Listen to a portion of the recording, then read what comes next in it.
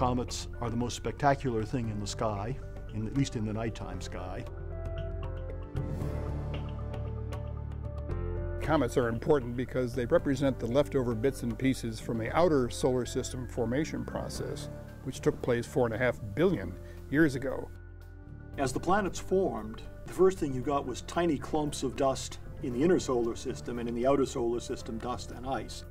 The comets are what made the cores of Jupiter, Saturn, Uranus, and Neptune. But the planets are so hot that the chemistry changes completely. Whereas the comets have remained frozen the entire time, so the chemistry is preserved. Comets are basically made up of a number of different regions. A dirty ice ball, relatively small and black. When it gets near the sun, these ices start vaporizing, which forms a atmosphere. And then when some of these dust particles are blown back away from the sun because of the pressure of sunlight, you form a dust tail, and often a gas or ion tail. Comets and asteroids have always gotten bad press. The dinosaurs checked out 65 million years ago because of an asteroid impact. But what we don't hear about is how important these objects are in terms of bringing the building blocks of life to the early planet. Comets almost certainly brought most of the organic material and much of the water to Earth. In a sense, we wouldn't even be here without comets and asteroids.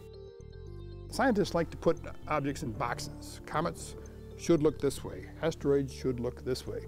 But Mother Nature keeps on knocking the boxes over and saying, no, it doesn't look that way. The few comets that we've seen, they all are very different from one another. So the question is, are all these objects different from one another? The EPOXI mission is an extended mission for the Deep Impact flyby spacecraft. After we went past Comet Tempel 1 and drove an impactor into it, we spent a year or more observing extrasolar planets, and we are now on target for a flyby of Comet Hartley 2. Which is interesting in the sense that it's one of the smallest objects we've seen, and it's thought to be active over 100% of its surface. If we understand the comets really well, it will tell us how all the planets got made.